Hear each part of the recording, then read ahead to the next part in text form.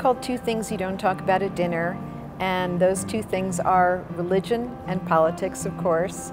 And it is set at an annual Passover Seder. And the elephant in the room at this particular Seder is the Israeli Palestinian situation. And uh, the Seder gradually, gradually, gradually unravels over the course of the evening. I'm inspired by what I read in the paper, what I see in the world. Uh, in this particular case, I do have a very good friend who had an annual Passover Seder, and she is very uh, pro Israel. And she has a very old friend who was often at that Seder, an Arab American who is pro Palestine. And I would watch them year after year avoid, avoid, avoid. And very often drama comes from that what if. And so my what if in this situation was what if they kind of got into it?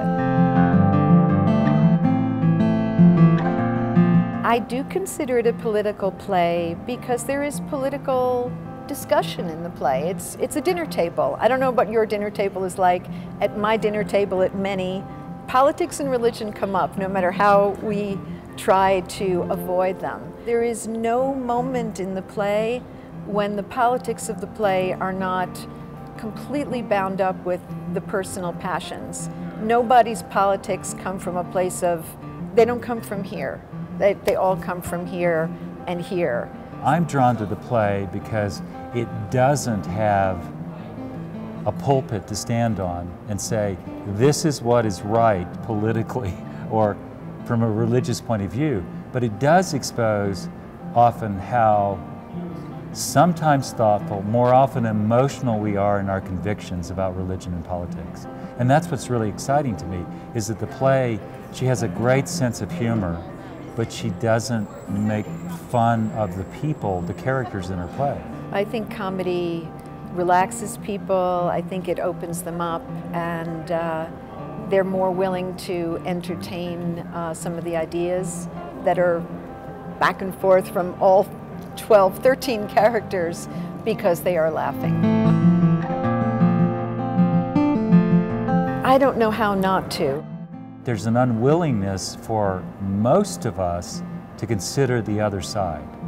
Uh, and that's true. I believe that's equally true with both sides of the political landscape oh, yeah. today. It's not like there's one side that's unwilling, the other side is suddenly willing. Uh, and it's very hard for us to move forward because we can't even talk about these discussions now. And it's become kind of this public process of posturing, which unfortunately is also what happens with families. Because you get home or you get with your families and friends and you, you, you regress at times.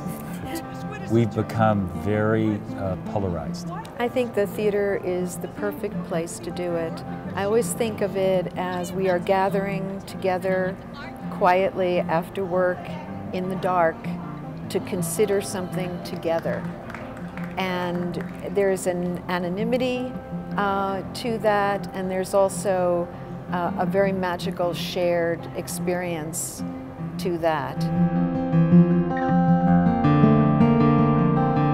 I actually don't think the theater, by and large, should provide answers to the questions. Now, I do think the theater can encompass a lot of different viewpoints. So, this season we did a play, American Night, and we're doing two things you don't talk about. American Night about an illegal immigrant trying to, well, no, he's actually got a green card, but he's trying to get his, take his American history test. What was surprising to me is that play was not more controversial, actually, with our audiences. So when I started the season, I couldn't predict to you which one would be controversial, but both were about fundamental things going on in our world today. And we're really about, you know, creating memorable moments that people will talk about and remember and think about throughout their lives. It could be, you know, the death of Hamlet. It could be the particular argument or the, the scene between at the end of the play between the husband and wife that are hosting the Seder. Uh, these moments that are kind of indelible in us. We're trying to do that. At the same time, we're trying to be relevant, and of course, we're trying to be entertaining. But we're, try, we're, we're trying to do all three things at once, uh, not necessarily in the same play, but every season needs to be both thought provoking and engaging and entertaining. We don't want to tell people what to think. we do want to throw questions out. And we do want to show them a different view of the world that they wouldn't have ordinarily seen. Take away the uh, invitation, the possibility of hearing each other's stories, of hearing the other side. So it is about the Israeli-Palestinian conflict, but it's also about, you know, the evangelical Christian versus the uh, liberal Jewish point of view versus the uh, more pro-Israeli point of view versus the young guy that wants to be a Buddhist yes. versus the daughter that is bulimic. So it's not it's not simply a play about that issue. It's right. a play about so many different issues right. kind of colliding at once.